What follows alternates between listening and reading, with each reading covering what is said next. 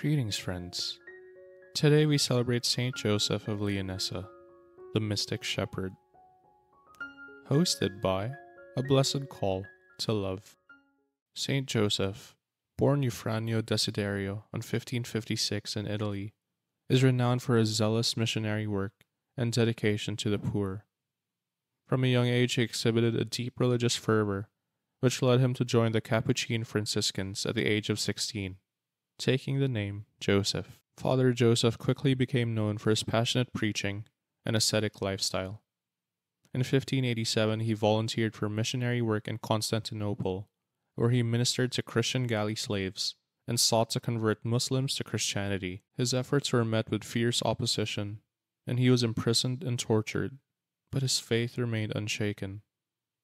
After his release, Joseph returned to Italy, continuing his ministry with unwavering zeal. He traveled extensively, preaching the gospel, advocating for social justice, and caring for the sick and impoverished.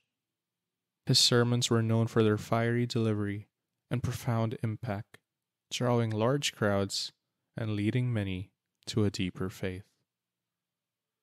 Until we meet again, God bless you. If you would like to purchase our Irish blessing oils dedicated to Saint Joseph of Leonessa, come visit a blessed call to blessedcalltolove.com. Each of our Irish blessing oils is accompanied by a card with a healing prayer dedicated to the particular saint.